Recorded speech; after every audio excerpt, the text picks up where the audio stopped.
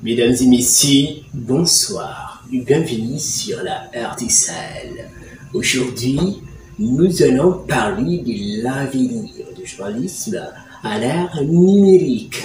Beaucoup de gens se posent des questions, des questions comme est-ce qu'aujourd'hui, avec l'arrivée d'Internet et ses nombreux réseaux sociaux très percutants, le journalisme a toujours sa place au monde. Alors, c'est ce que nous allons voir ensemble. Installez-vous confortablement et laissez-vous à l'écoute de cette émission puisque nous serions ensemble pendant quelques minutes.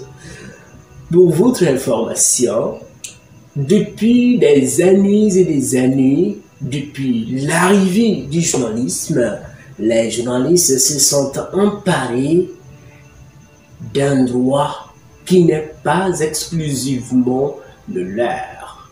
C'est celui qu'on appelle le droit à la liberté d'expression. La liberté d'expression est un droit garanti à tous les humains sans exception, mais malheureusement, les journalistes se sont emparés il y a de cela des années. Alors, Internet est venu pour remettre les journalistes à leur place, à leur juste place. La liberté de la presse et la liberté d'expression sont deux libertés différentes. Celle de la presse est exclusive aux journalistes et celle d'expression est propre à tous les humains, y compris les journalistes eux-mêmes. Quel serait donc l'avenir du journalisme à l'ère numérique alors que tout ce qui se passe, on a reçu l'information en temps réel en moins de 5 minutes?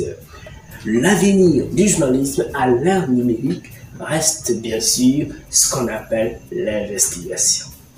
L'investigation, c'est ça le journalisme. La révélation d'un problème caché et des opportunités encore non saisies. C'est tout.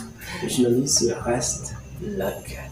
Le reste sera des alertes. Je vous remercie. Il y a un autre moment.